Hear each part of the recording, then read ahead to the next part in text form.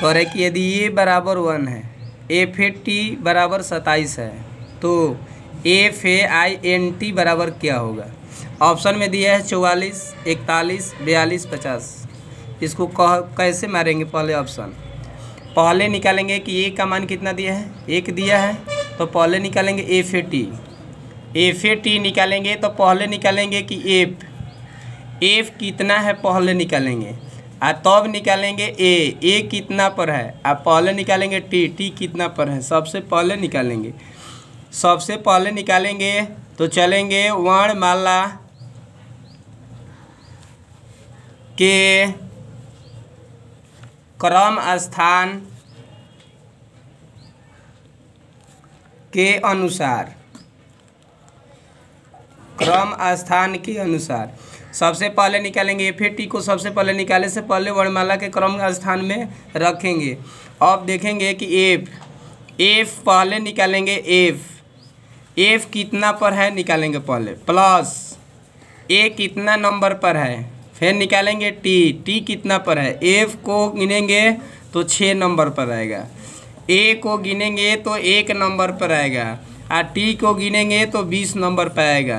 तो बीस गो अच्छे कितना होता है? छब्बीस और छब्बीस आए, कितना हो जाएगा? सत्ताईस इसका मतलब है कि एफ़ ए टी आएगा सत्ताईस नंबर पर। तो हमको निकालना है कि F A I N T क्या होगा? अब निकालेंगे एफ़ एफ़ कितना नंबर पर है? छः नंबर पर। प्लस ए कितना नंबर पर है? एक नंबर पर। एक नंबर पर। फिर निकालेंगे प्लस। आई आई कितना नंबर पर है? तो नौ नंबर पर। इसके बीच में प्लस दे देंगे। फिर कितना निकालेंगे? टी टी कितना नंबर पर है? तो टी है एन निकालना है, पहले पहले एन निकाल लेंगे। एन है कितना नंबर पर? तो एन है चौदह नंबर पर। बीच में क्या डालेंगे? प्लस टी को पर है? तो टी निकालेंगे। टी कितना नंबर पर है? तो टी नंबर है बीस नंबर अब सबको जोड़ेंगे। तो सबको है जोड़ेंगे बीस, चौदह, नौ, एक छः को जोड़ेंगे तो कितना हो जाएगा? पचास।